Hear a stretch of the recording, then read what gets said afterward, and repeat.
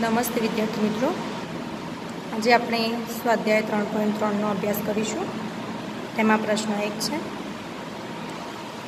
સમાંતર બાજુ ચતુષ્કોણ એબીસીડી આપેલ છે. અહીંયા તમને આકૃતિ આપેલી છે. દરેક વિધાનને તેમાં ઉપયોગ કરવામાં આવેલ વ્યાખ્યા અથવા ગુણધર્મનો ઉપયોગ કરીને પૂરું કરો. અહીંયા તમને કેટલીક ખાલી જગ્યાઓ આપેલી છે.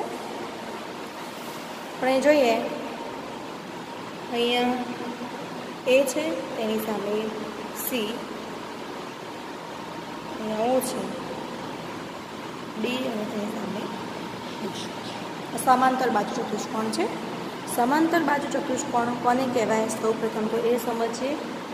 તો જેની સામ સામેની બાજુઓ સરખી હોય, એટલે કે આ બાજુનું માપ જેટલું હોય તેટલું જ આ બાજુનું હોય, અને આનું માપ જેટલું હોય તેટલું જ આનું માપ બરાબર? તેને કહેવાય સમાંતર બાજુ ચતુષ્કોણ. જેની સામ સામેની બાજુઓ સરખી હોય તેને સમાંતર બાજુ ચતુષ્કોણ કહે છે. અહીંયા કેટલીક ખાલી જગ્યાઓ આપેલી છે. પહેલું છે એડી બરાબર ખાલી જગ્યા. હવે એડી, આ એડી છે. રેખાખંડ એડી. તો તેની સામેની બાજુ કઈ થશે? રેખાખંડ બીસી. બીજું. ખૂણો ડી સી બી સામસામીના ખૂણા પણ સરખા હોય, બરાબર? સમાંતર બાજુ દૃષ્ટિમાં એટલે આ ખૂણો છે ડી સી બી તો સીની સામેનો ખૂણો છે એ એટલે કે ડી એ બી જો અહીંયા ખૂણો ડીસીબી છે, એનો મતલબ કે વચ્ચેનો જે ખૂણો હોય તેની વાત કરી છે ખૂણા સીની તો ખૂણા સીની સામેનો ખૂણો છે ખૂણો એ તો ડી એ બી બરાબર? સીની સામે ખૂણો એ. એટલે કે ખૂણો ડી, એ, ડી. ત્રીજું છે ઓસી બરાબર ખાલી જગ્યા. ઓસી એટલે આ થશે એટલું, તો તેનું સામે થશે ઓએ. ચોથું, માપ ખૂણો ડી, એ, બી વત્તા માપો સી ડી એ બરાબર ખાલી જગ્યા. ડીએબી અને સીડીએ તો બે ખૂણાનો સરવાળો કેટલો થશે? એકસો એંશી. પાસ પાસેના બે ખૂણાનો સરવાળો થશે એકસો એંશી. હવે પ્રશ્ન બે છે. તેમાં એક્સ, વાય અને ઝેડના મૂલ્યો શોધવાના છે. આપણે આકૃતિ દોરીને સમજીશું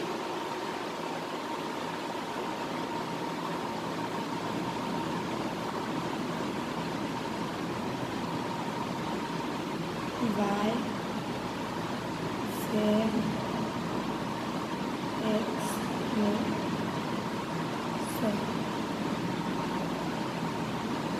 A B C અને ડી બરાબર હવે સમાંતર બાજુ ચતુષ્કોણ હોય એટલે એક વસ્તુ યાદ રાખવાની કે પાસ પાસેના એ બાજુ બાજુના ડી અને એ પાસ પાસેના છે, એ રીતે એ અને ડી પાસ પાસે છે, એ રીતે બી અને સી પાસ પાસે છે અને સી અને ડી પાસ પાસે છે. એટલે કે બે જોડે જોડે હોય તેમનો સરવાળો થશે એકસો એંસી અને સામ સામેના ખૂણા સરખા થશે. એટલે કે એનું માપ હશે એટલું એક્સનું માપ થશે અને બીનું હશે તેટલું ડીનું થશે. તો અહીંયા તમને એક માપ આપેલું છે બીનું સો. બરાબર?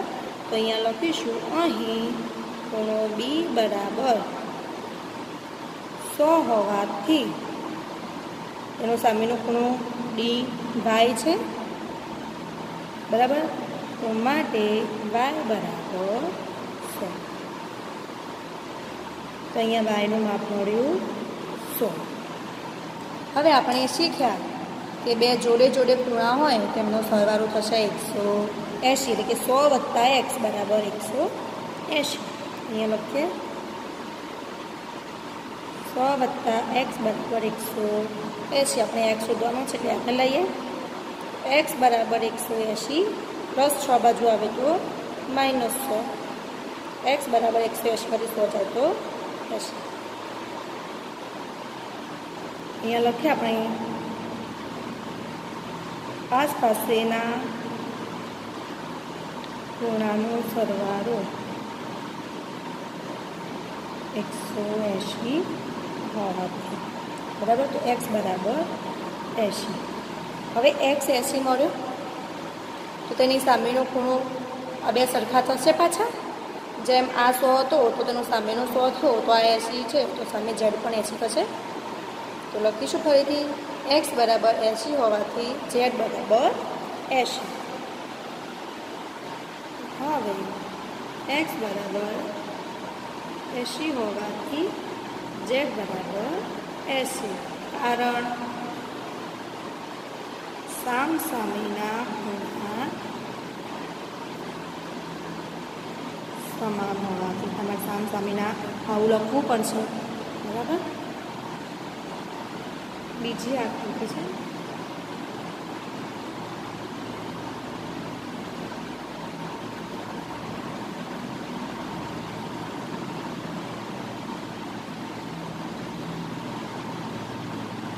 પચાસ વાય એક્સ અને અહીંયા તમે જોઈ શકો છો કે અહીંયા ફક્ત પચાસનું જ માપ આપ્યું છે, એક જ હવે આ બંનેનો સરવાળો એકસો એંશી થાય, આપણને ખબર છે. અહીંયા લખીએ, પચાસ વત્તા વાય બરાબર એકસો એંશી. કારણ બતાવવાનું પાસ પાસેના ખૂણાનો સરવાળો એકસો એંશી હોવાથી વાય શોધવાનો છે તો તેને આગળ લઈએ એકસો એંશી માઇનસ પચાસ વાય બરાબર એકસો એંશીમાંથી પચાસ જાય તો એકસો ત્રીસ તો વાય મળ્યા એકસો ત્રીસ હવે તેની સામેનો ખૂણો મળી જશે સામ સામેના ખૂણા સરખાવા તો વાય બરાબર એકસો ત્રીસ હોવાથી એક્સ બરાબર એકસો ત્રીસ કારણ બતાવીએ સામ સામેના ખૂણા સમાન હોવા બરાબર? એટલે એક્સ મળ્યો એકસો ત્રીસ હવે આશ કેટલા છે તે આપણને ખબર. નથી, પણ આ બેનો સરવાળો એકસો એંસી થશે, બરાબર? એકસો ત્રીસ અહીંયા કશું જ આપેલું નથી, એટલે હું ક્વેશ્ચન માર્ક્સ મૂકીશ. બરાબર, એકસો એંશી એકસો એંશી માઇનસ એકસો ત્રીસ આ બાજુ આવશે, એટલે માઇનસ થશે. આ થયા પચાસ. આ મળે આપણને પચાસ. અથવા બીજી રીતે કર્યું હોય તો આનો સામેનો ખૂણો આ પચાસ થશે. બરાબર? તમે એવી રીતે પણ કરી શકશો. હવે આ પચાસમાં જ્યારે આ રેખિક જોડનો ખૂણો બનાવે છે એટલે આ બેનું સરવાળું થશે પાછો એકસો એંસી એટલે આપણને ઝેડ મળશે. તો પચાસ વત્તા ઝેડ બરાબર એકસો એંસી. ઝેડ બરાબર એકસો એંસી માઇનસ પચાસ. ઝેડ બરાબર એકસો ત્રીસ. એ લખવાનું બંને રૈખિક જોડના બરાબર? બધાના માપ મળી ગયા? અહીંયા લખીએ આપણે. એક્સ બરાબર એકસો ત્રીસ વાય બરાબર એકસો ત્રીસ અને ઝેડ બરાબર એકસો ત્રીસ. બંનેના માપ, ત્રણને ત્રણના માપ મળ્યા એકસો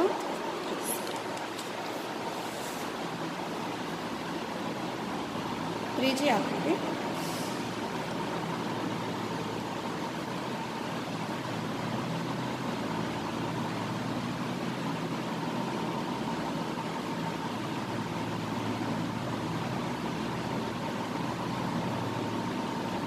વાય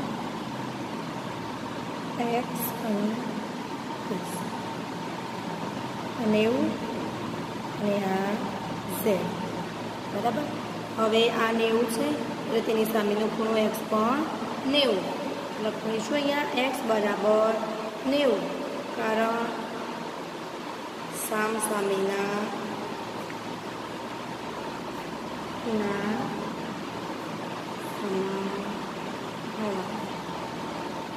હવે. આ ત્રિકોણ બને છે. એકનું માં ખબર છે, બીજાનું ખબર છે, ત્રીજાનું ખબર નથી, પણ એટલી ખબર છે કે ત્રણનો સરવાળો એકસો એંશી થશે. તો વાય વત્તા નેવું વત્તા ત્રીસ ત્રીસ બરાબર એકસો એંસી તો વાય વત્તા નેવું અને ત્રીસ એકસો વીસ બરાબર એકસો એંસી વાય બરાબર એકસો એંસી પ્લસ એકસો વીસ આ બાજુ જતો માઇનસ વાય બરાબર સાઠ તો આ ખૂણો મળ્યો સાઠ હવે અહીંયા જોઈ શકો છો તમે કે આ આખો ઝેડ બનાવે છે યુગ્મ કોણ તો તમને વાય સાઠ મળ્યો તો ઝેડ પણ સાઠ મળશે. અહીંયા લખીએ ઝેડ બરાબર સાઠ કારણ તમે સાતમા ધોરણમાં ભણ્યા છો યુગ્મકોણ યુગ્મકોણની જોડ. હોવાથી અહીંયા યુગ્મકોણની જોડ બનાવે છે આ ખૂણો અને આ ખૂણો. બરાબર? એટલે ઝેડ પણ મળ્યો સાઠ તો અહીંયા લખીએ. માટે એક્સ બરાબર નેવું. વાય બરાબર સાઠ અને ઝેડ બરાબર સાત.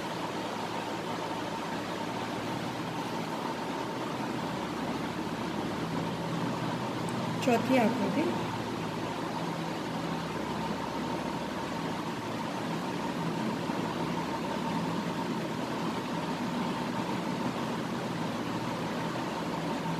ઝેડ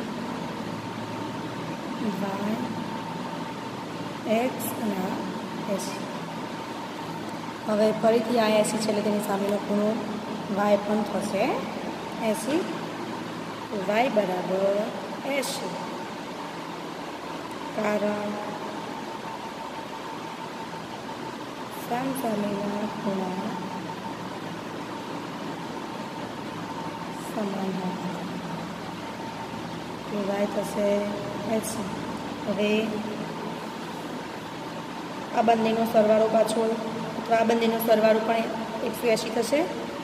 એક્સ વત્તા એંશી બરાબર એકસો એંશી. કારણ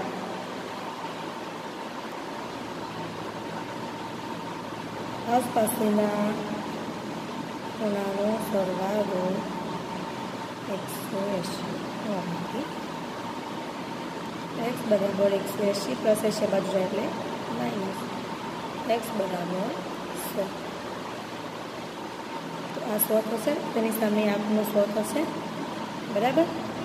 હવે આ સો છે. આપણે શોધવાનું છે બારનો ખૂણો ઝેડ. પણ એ ખબર છે કે આ રૈખિક જોડનો ખૂણો બનાવે છે, એટલે પાછો આ બંનેનો સરવાળો થશે એકસો એંશી. ઝેડ વત્તા સો બરાબર એકસો એંશી. કારણ રૈખિક જોડના ખૂણા હોવાથી ઝેડ બરાબર એકસો એંશી માઇનસ સો. એકસો એંશીમાંથી સો જોઈએ તો એંશી એક્સ બરાબર સો. વાય બરાબર એંશી. અને ઝેડ બરાબર પણ એંશી. પાંચમું વાય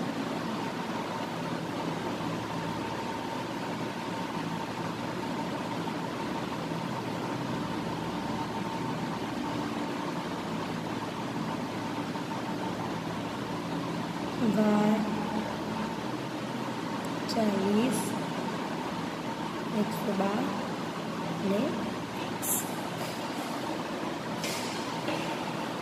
હવે પાછી હવે આ એકસો બાર છે એટલે તેની સામેનું વાય એકસો બાર થશે. તો લખીએ અહીંયા. વાય બરાબર એકસો બાર. કારણ સામ સામેના ખૂણા સમાન હોવાથી. હવે આ એકસો બાર છે, આ ચાલીસ છે. અને આ એક્સ આ ત્રણ ત્રિકોણ બનાવે છે, એટલે ત્રણનો સરવાળો એકસો એંશી થશે તો અહીંયા આપણે લખીશું. એક્સ વત્તા ચાલીસ વત્તા એકસો બાર બરાબર એકસો એંસી.